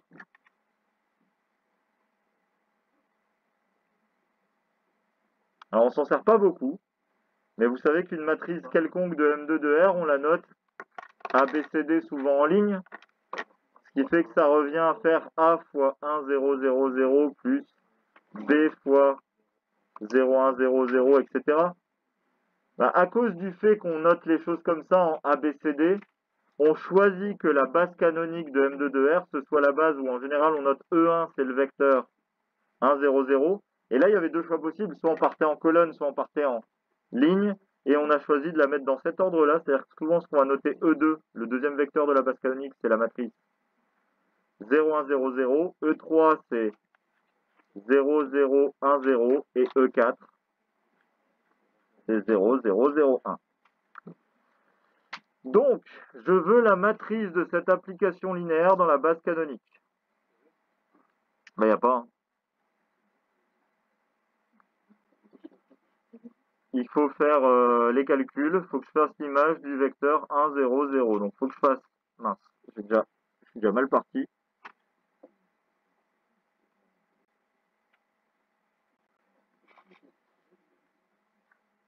Il faut faire 1, 0, donc AM moins MA.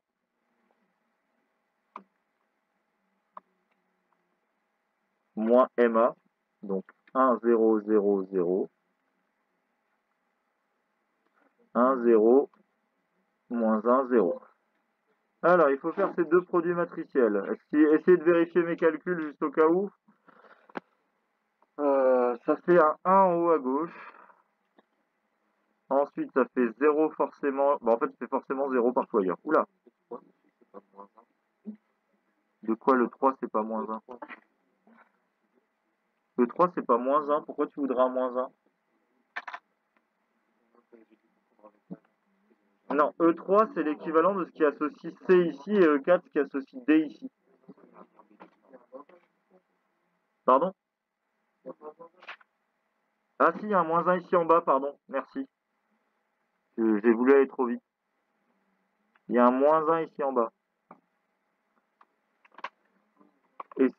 Ah non, c'est moins MA. Alors, là maintenant, si je refais moins M A, alors, pardon? Ah, si, il manque un 1 ici. Merci Martin. Donc ça, ça me fait du...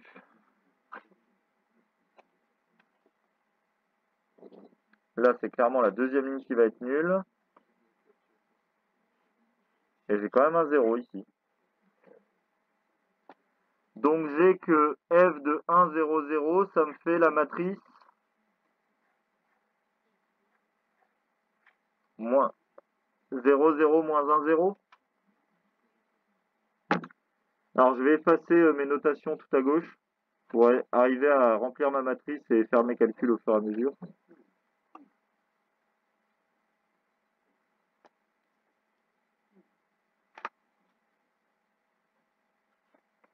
Alors, donc, la matrice dans la base canonique de F, on est bien d'accord que je vais obtenir une matrice 4, 4. Vu que j'ai 4 vecteurs de base, là-haut je dois faire F de 1, F de 2. Je vais pas noter F de 3 parce que je vais arriver dans la barre. Mais enfin, je vais pas noter F de 4, je veux dire. Mais vous êtes bien d'accord qu'à côté, il y a encore F2, 4. Et je dois mettre ça suivant les coordonnées de 1, E2, E3, E4. Donc je viens de trouver mon premier vecteur et ça fait 0, 0, moins 1, 0. Est-ce que vous pouvez me donner ça en fonction de 1, E2, E3, E4 Baptiste 0, 1, 0, 2, moins 3, Ouais, comme j'ai pas beaucoup de place, je me permets de noter. Ah, il faut bien sûr que je fasse une faute à ce moment-là. C'est moins E3, on est d'accord du coup ce vecteur-là? Et donc la première colonne, c'est 0, 0, moins 1, 0. Est-ce que vous êtes tous d'accord avec ça? En bas, c'est moins E3. Oui, c'est moins E3 en bas. On va inverser le moins 1. Inverser le signe du moins, c'est justement le moins 1 qui fait permettre de dire que c'est moins E3 et pas plus E E3. Oui, mais là, dans la matrice, c'est E3. Enfin, c'est pas- Bah oui, la coordonnée selon E3, c'est 1 ou c'est moins 1 c'est moins. Donc c'est pour ça que je mets un moins 1 dans ma matrice.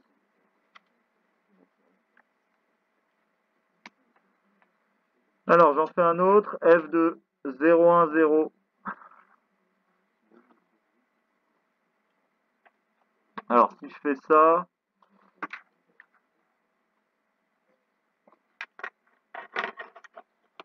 je vais bien le faire en décalé, ça va me permettre de ne pas me tromper.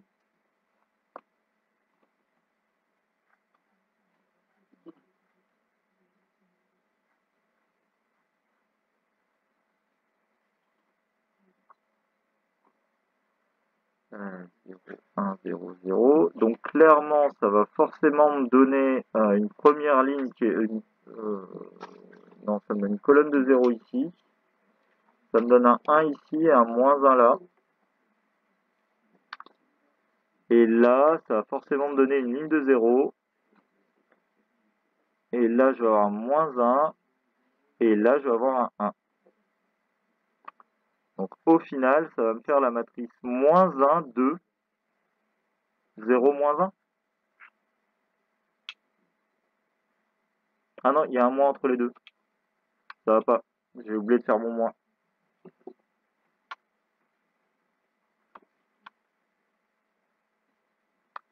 Donc ça me fait du 1 moins moins 1, ça me fait du plus 1, ça me fait un 2 ici, pardon. Non mais, ah, mais je fais n'importe quoi avec mes matrices. Excusez-moi, mais c'est pas facile de lire ça. Donc j'ai moins ça. Donc j'ai bien 1 ici. Par contre, j'ai du 1 moins 1 qui me fait un 0 ici. 0 et moins 1 ici. Donc ce calcul me donne du E1 moins E4, ce qui fait que la deuxième colonne, que je mets en rouge, ça me fait du 1, 0, 0, moins 1.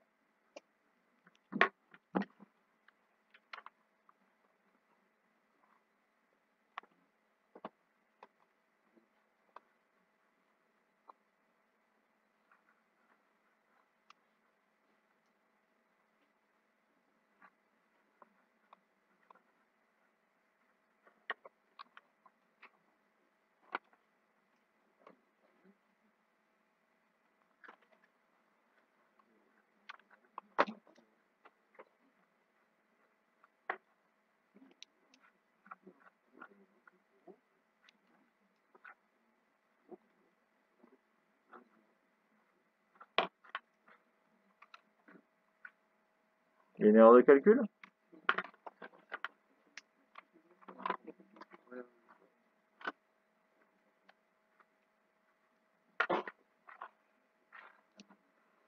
Ah. Et ça fait un 0 ici. Oula. C'est vrai ce mensonge Ça me fait 0 pour le troisième vecteur Faites vos calculs à vous, hein, au les miens, vous pouvez aussi essayer de les faire par vos calculs. hein. Là, j'obtiens apparemment le vecteur nul. Donc ça fait 0, 0, 0, 0 comme ça. Et je vais effacer le dernier calcul que j'ai fait là. C'est cette matrice-là.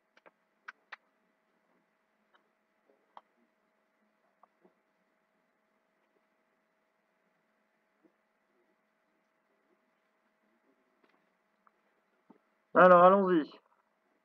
La dernière matrice, c'est 0, 0, 0, 1. Et on aura fini.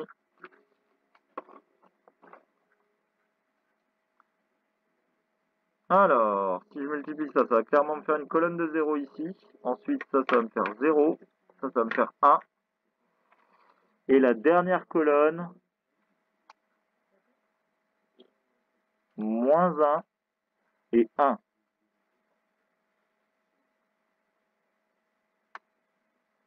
Ça me fait clairement 0, 0. Par contre, j'ai du 1 et j'ai du 1 moins 1, j'ai du 0. Donc ça me fait E3. Et je suis pas fou.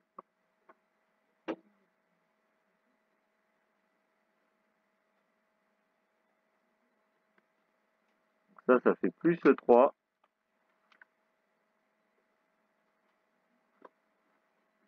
Et ça me fait cette magnifique matrice-là, si je ne me suis pas trompé. Qui a fait ces calculs sans regarder les miens et à la même chose? Baptiste les a fait Alexis aussi, c'est bon? Ok. Ah, c'est juste pour vérifier parce que c'est important d'avoir la bonne matrice pour pouvoir faire toutes les bonnes conclusions qu'on a derrière ça. Qu'est-ce que vous pouvez me dire sur le rang de cette matrice?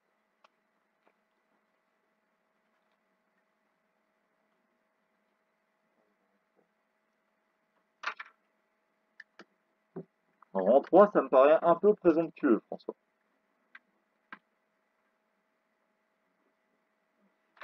Il y a des infos simples à dire, hein, même avant de faire les choses compliquées, où ça marche. Rang 1, je suis pas d'accord. Arthur? Vu qu'il y a une ligne de 0, déjà il peut être au maximum 3, je suis tout à fait d'accord avec toi. Le rang de cette application est inférieur ou égal à 3. Donc déjà, première chose, puisqu'on part au départ et à l'arrivée avec des espaces vectoriels de dimension 4, cette application linéaire ne peut pas être surjective, donc elle ne peut pas être bijective. Première chose qu'on a trouvée. Ensuite, pareil, et tout est lié maintenant. Puisque le rang est inférieur ou égal à 3, par théorème du rang, la somme entre le rang et la dimension du noyau doit faire 4. Donc si le rang est inférieur ou égal à 3, la dimension du noyau est supérieure ou égale à 1. Donc est-ce qu'elle peut être injective cette application? Non. Donc elle n'est ni injective, ni surjective, ni bijective.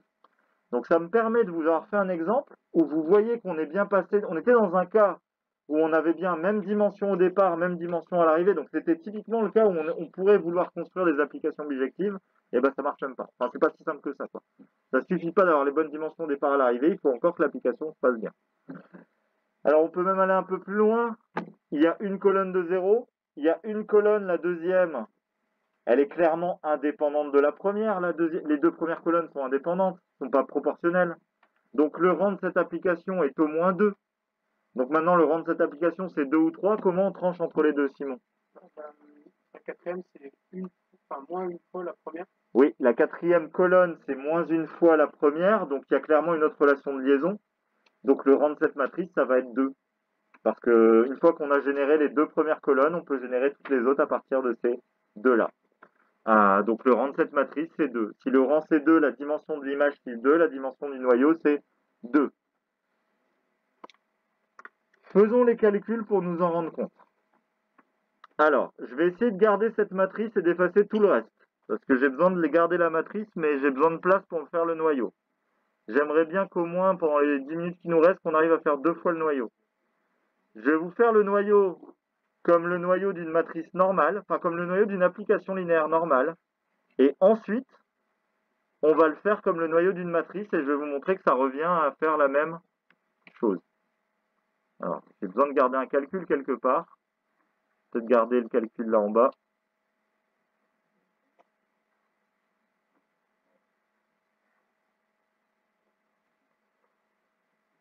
Euh, donc c'est quelle matrice que je change Je garde A, mais je vais changer ma matrice qui est ici. Je veux faire quel calcul?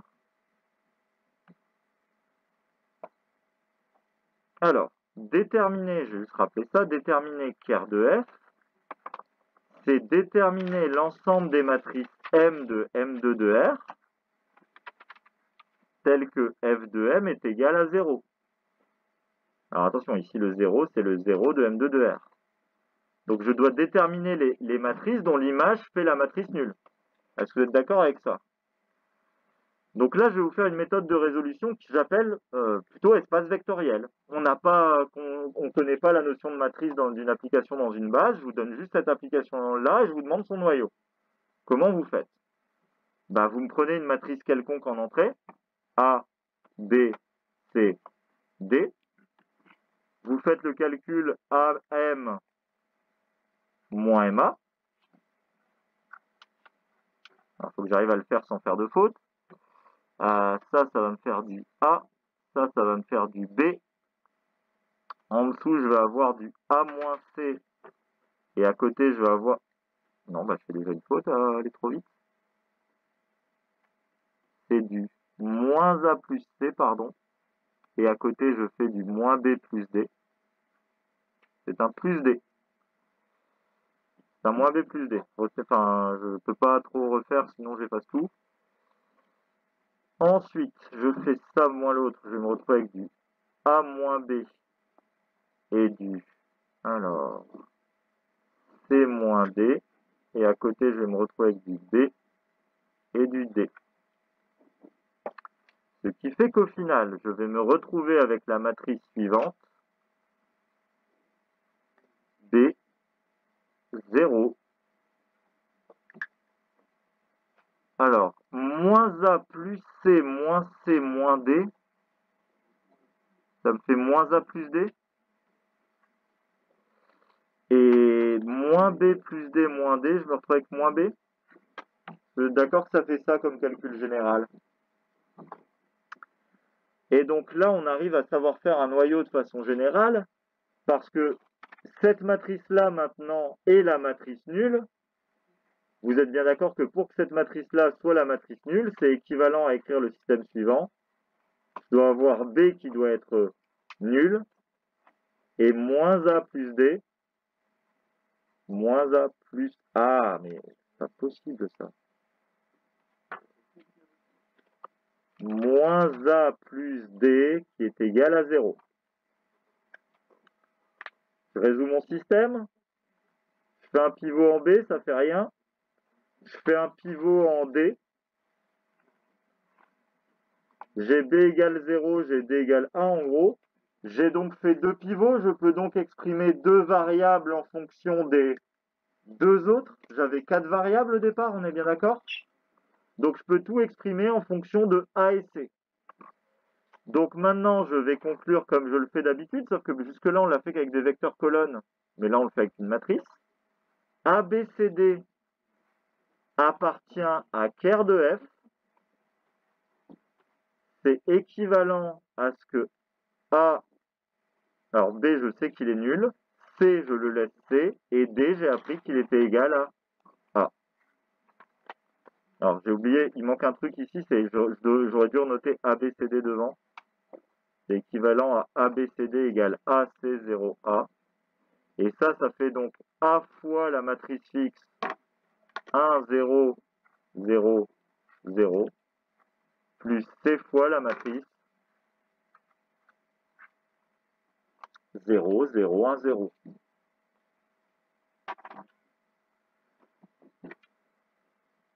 conclue là en bas. Je suis désolé de faire des choses dans tous les coins, mais...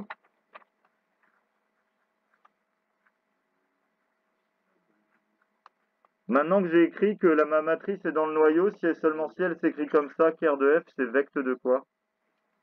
Arthur?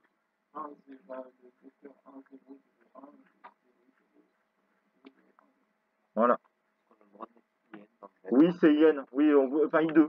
Vous pouvez mettre I2 sans problème pour euh, la matrice identitaire. Et donc, vous voyez, je me suis absolument pas servi de ma matrice. J'ai uniquement utilisé l'expression de l'application linéaire. J'ai bien prouvé que mon espace vectoriel est un espace de dimension 2 et j'en ai trouvé une base. Je n'ai absolument pas besoin de savoir faire des noyaux de matrice. Est-ce qu'on est, d'accord avec ça? Mais, d'un autre côté, je sais faire des noyaux de matrice. Et j'ai la matrice de l'application. Donc que se serait-il passé si j'avais essayé de faire le noyau non pas de mon endomorphisme, mais le noyau de ma matrice? Je vais refaire les calculs. Alors, il va falloir que je puisse effacer.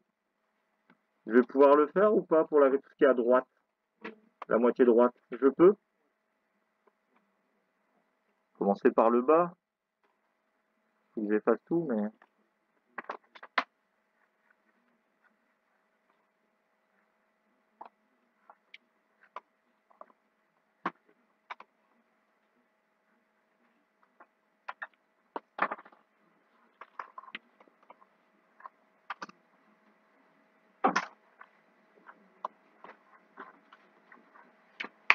deuxième méthode pour le noyau, on va passer par le noyau de la matrice. Alors, si j'appelle cette matrice-là A, juste pour euh, simplifier mes notations après. A fois x égale 0. Si mon vecteur x, c'est le vecteur x, y, z. Est-ce qu'on est bien d'accord que ça donne y égale 0, la deuxième ligne, ça va me donner, j'arrive à écrire, 0 égale 0. La troisième ligne, ça va me donner moins x plus, alors si j'appelle ça x, y, z, t, moins x plus t égale 0. Et je vais me retrouver avec moins y égale 0. Bien sûr, je pose que le vecteur x colonne que je multiplie, qui multiplie cette matrice, c'est le vecteur x, y, z, t. Est-ce que ça vous va que la matrice A multipliée par un vecteur est nulle? Ça donne ce système-là. Il y a tellement de zéros dans la matrice, ça ne doit pas très, être très compliqué à voir. Maintenant, je vais faire des pivots. Je vais commencer par faire le pivot le plus dur du monde, en Y. On est bien d'accord que ça va me permettre d'éliminer la dernière ligne. Je note pas l'opération. Et ça me donne Y égale 0 et moins X plus T égale 0. Je vais me permettre de faire un pivot ensuite en T, ou en X comme vous voulez, mais c'est la même chose. Et je vois clairement que je ne peux plus faire de pivot derrière. J'ai donc un système de rang 2. Je peux exprimer deux inconnus en fonction des deux autres. Je préfère exprimer les deux variables que j'ai utilisées en pivot qui sont Y et T. Je vais les exprimer plutôt en fonction de X et Z. Ah. Donc je vais faire m'écrire, j'exprime y et t en fonction de x et z. Et donc j'arrive à obtenir que x, y, z, t appartient à ker de A si et seulement si x, y, z, t est égal. Alors, je dis que j'exprimais tout en fonction de x et z. Donc, x reste x. y vaut 0, z vaut z, et t vaut x. Ça me donne donc x fois le vecteur 1, 0, 0, 1, plus z fois le vecteur 0, 0, 1, 0.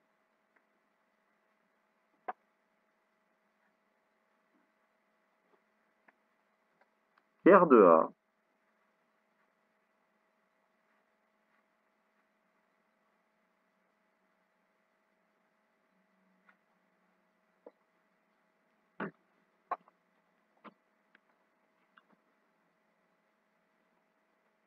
Est-ce que vous êtes d'accord, sans, faire le lien vous-même, c'est moi qui vais vous le réexpliquer, sans faire le lien vous-même, est-ce que vous êtes d'accord que les calculs étaient très très similaires quand même?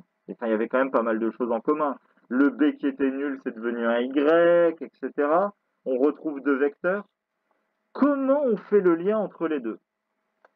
Parce qu'on ne peut pas dire que le noyau de la matrice, le noyau d'une matrice, ce sont des vecteurs de R4 ici. Or, le noyau de mon application linéaire, ce sont des vecteurs de l'espace de départ. Et les vecteurs de l'espace de départ dans cet exercice, c'était des matrices de taille 2,2. Donc, quand je vous demande le noyau d'une application linéaire, vous n'avez pas le choix vous êtes obligé de me renvoyer des matrices de taille, enfin pour si cette application a des matrices de taille de 2. Donc quel est le lien entre les deux? Le lien c'est qu'en fait on peut conclure que le noyau de F, puisqu'on est passé par le noyau de A et que A c'est la matrice de F dans la base canonique, en fait le noyau de F c'est vecte de ça, c'est bien vecte de ces vecteurs colonnes à 4 coordonnées, mais où là, ce sont des coordonnées dans la base canonique. Alors, si j'étais dans une base B, ce serait les coordonnées dans la base B. Ce qui veut dire quoi? Bah, Ce qu'il faut dire, il faut juste traduire une dernière ligne, c'est c'est quoi la matrice qui a pour coordonnées 1, 0, 0, 1 dans la base canonique? Bah, C'est la matrice 1, 0, 0, 1. Et l'autre, la matrice qui a pour coordonnées 0, 0, 1, 0, bah, ça fait ça. Et est-ce qu'on est bien d'accord qu'on a exactement retrouvé le même noyau que par l'autre méthode? Donc si depuis le début de l'année, je vous embête avec à essayer de vous faire trouver des noyaux d'application linéaire, euh, de- de- des noyaux de matrice, pardon, c'est parce qu'en fait, jamais au concours, on vous demandera un noyau de matrice, c'est leur programme. Quoi? Mais en fait, pour calculer un noyau d'application linéaire, passer par le noyau de la matrice et retrouver les coordonnées dans une base, c'est en général 100 fois plus simple pour vous que de parler de noyau d'application linéaire. Officiellement, en termes de vocabulaire, j'aurais jamais dû vous parler du mot noyau de matrice. J'aurais dû parler que du mot noyau d'application linéaire. Mais n'empêche que quand je vous définis une application linéaire par une matrice, ça revient strictement à la même notion. Donc c'est une notion qui est là pour vous aider à vous simplifier vos calculs. On arrête là.